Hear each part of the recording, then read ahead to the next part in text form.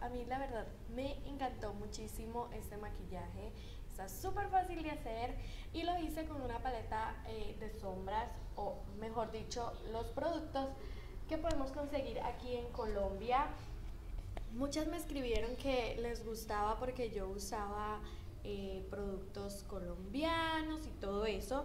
Así que les quiero contar como un poquitito y disculpen si se escuchó un poco raro en esa parte, solo que moví un poco el micrófono. Ok, les voy a contar un poquitito. Aquí en Colombia no se consiguen los productos que otras youtubers o personas que hacen videos en Instagram eh, utilizan, así que aquí en Colombia también podemos eh, conseguir productos hermosos, maravillosos, que funcionan a la perfección. Este maquillaje y creo bueno, y la mayoría de, maquillajes o de tutoriales que hago, los hago con esta paleta que es una paleta de Dolce Bella, que es una marca de maquillaje profesional colombiana.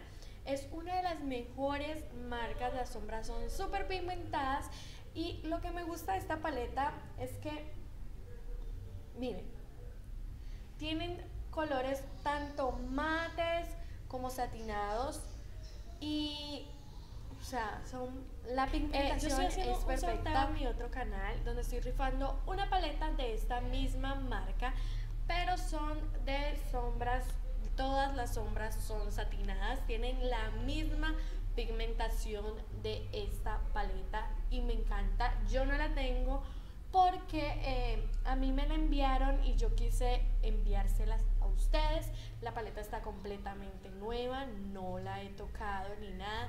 Si ustedes no, están, no han participado en lo que es el, el sorteo, en la partecita de abajo te voy a dejar el link directo al video del sorteo. Está hasta el 6 del mes que viene, que es junio, junio, julio. Junio, el 6 de junio. Y de igual forma por aquí va a estar apareciendo para que simplemente le des clic y vamos a, eh, y te lleve directamente al video.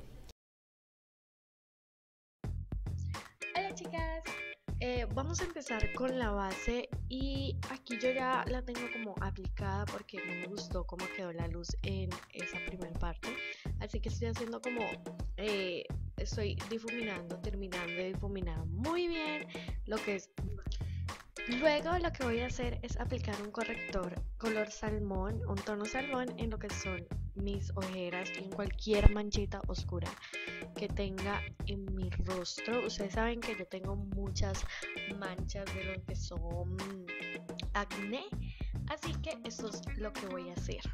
Voy a difuminarlo muy bien con mi dedo para que eh, no se vean líneas bruscas. Luego voy a estar sellando este corrector con un polvo suelto para que se vea muy hermoso y me dure todo el día. Estos polvos sueltos son de la marca Raquel y me encantan porque no me dejan la piel como, como si tuviera polvos. Eh, a veces uno se coloca polvos y queda como muy, no sé, acartonada. Ahora voy a hacerme las cejas y ustedes me han visto mucho hacerme las cejas las estoy haciendo como siempre, así que creo que no tengo que explicar cómo lo hago, pero bueno. Para las chicas que no me han visto hacerme las cejas, yo hago una línea abajo y voy rellenando poco a poco y voy haciendo luego una línea arriba y voy difuminando sin llegar a lo que es el inicio de la ceja. Al inicio yo em, pinto como hacia arriba en forma de pelitos y de esa forma siento que me queda una eh, prolija y más bonita. Entonces, esa es la forma en la que yo lo hago. A mí me gusta que mis cejas se me vean muy destacadas. Me gusta hacerlas bien llamativas porque, no sé, siento que se ven hermosas.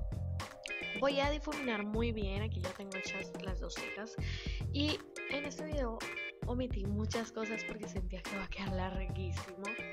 Así que bueno, con un corrector un poquito más claro, solo medio tono más claro que mi piel, voy a estar limpiando. Y sí, esas caras que estoy haciendo es porque estoy bailando y cantando. O sea, está escuchando música, así que, ok, lo que hace la música en mí. Voy a tratar de difuminar eso muy bien. Vamos a seguir con los ojos y para esto voy a usar una sombra marroncita en lo que es la cuenca y esto me va a servir de sombra de transición. Yo siempre hago esto porque me gusta que mi maquillaje tenga una transición bonita, así que siempre aplico este tipo de sombras marrón, que es un tono, un tono y medio más oscuro. Para el párpado móvil voy a aplicar una sombra dorada y en la cámara se ve plateada, no sé por qué, pero es dorada, pero es muy oscura, casi marrón. En la esquina exterior voy a aplicar una sombra gris oscura para dar un poco de profundidad y luego voy a difuminar todo muy bien con la primera sombra que apliqué, la marrón que apliqué en lo que es la cuenca del ojo y recuerdo, les recuerdo, esta sombra es mate y las que apliqué en el párpado móvil no son mate, ¿ok? A seguir y en el medio, en el centro de estas dos sombras del párpado móvil apliqué una dorada más eh, clarita para dar un poco de luz al ojo y en el hueso de la ceja o debajo de la ceja apliqué una sombra eh, eh, vainilla para, para iluminar esa zona. Y lo siento, pero con las caras que hago, ¿en serio? Me quedé como que, hice eso.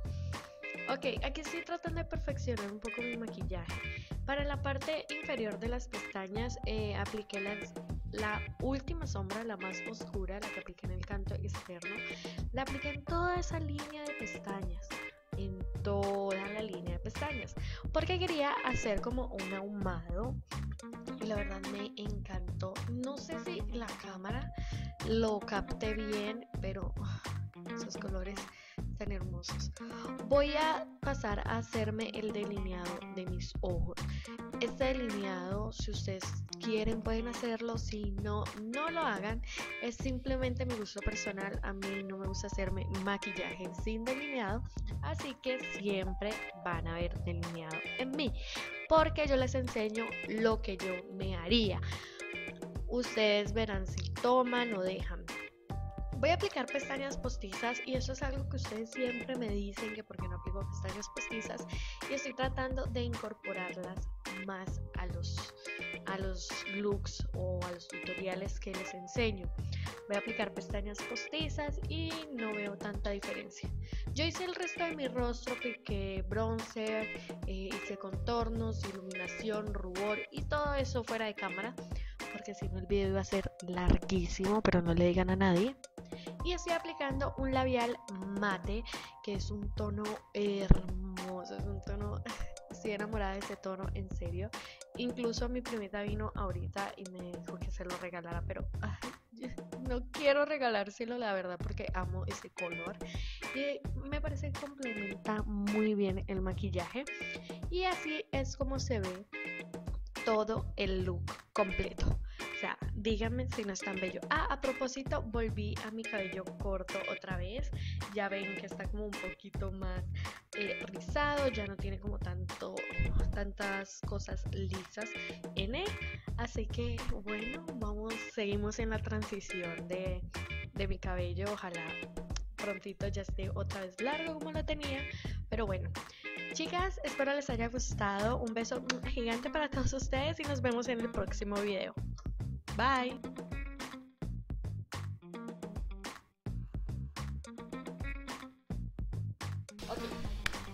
Chicas, ese fue todo el look por hoy, el tutorial por hoy. Espero les haya gustado muchísimo. Espero se hayan divertido y si recrean este look, ya ustedes recuerden que pueden omitir pasos, colocar pasos. Si ustedes quieren hacer algo diferente, pueden hacerlo pero si hacen un look inspirado en este, pueden etiquetarme en mis redes sociales, que tengo Facebook, Twitter, Instagram y Snapchat, que hace como tres semanas no subo nada a Snapchat. Pero bueno, espero les haya gustado. Un beso gigante para todos ustedes y nos vemos el próximo video. Bye.